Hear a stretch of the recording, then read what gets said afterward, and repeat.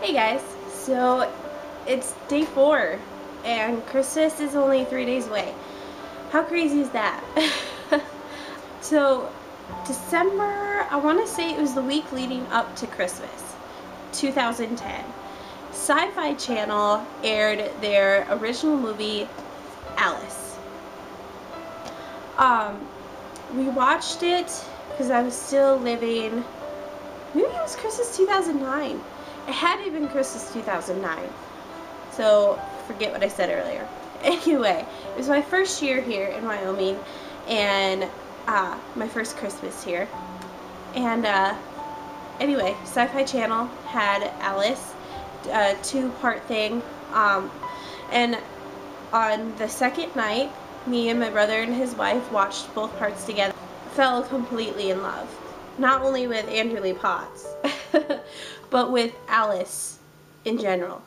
The whole Alice in Wonderland, everything.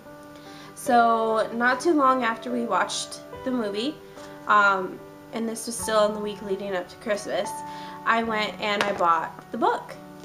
Alice in Wonderland, or Alice's Adventures Underground and Through the Looking Glass.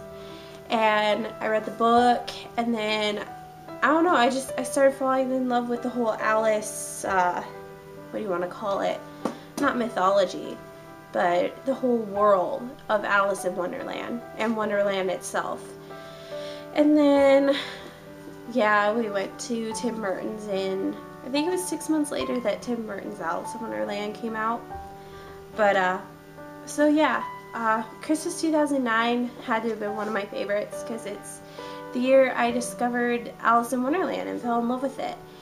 And, uh, I mean, I had grown up seeing the, like, the old cartoon, but I hadn't seen it in years when the sci-fi released Alice. So it was just, it was a new discovery for me to find this whole Alice world.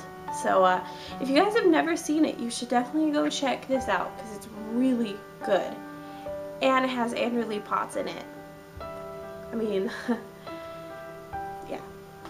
And uh, if you've never read the book, you should read the book. And there's other, there's a whole bunch of other really good Alice literature out there.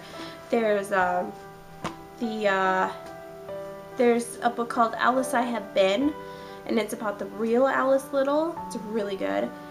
Um, there's a there's a trilogy.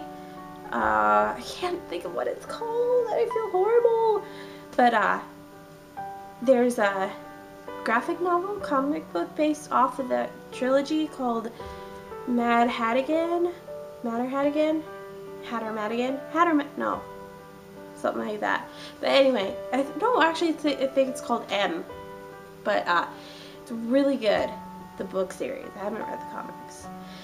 But anyway, so I'll see you guys tomorrow, just another day closer to Christmas.